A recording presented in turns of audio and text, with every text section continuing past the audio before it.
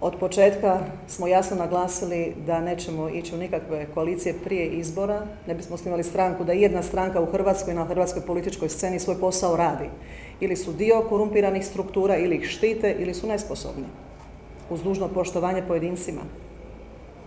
Što se tiče koalicija nakon izbora, to je običajna praksa u, u, demokratskim državama da se koalicije stvaraju nakon izbora, ali svakako ne sa onim strankama koji su uzročnici sadašnjeg stanja, koji su se ogriješili Hrvatsku i o hrvatske građane, nego isključivo s onima koji će slijediti beskompromisnu politiku naše stranke odlučnosti i pravednosti.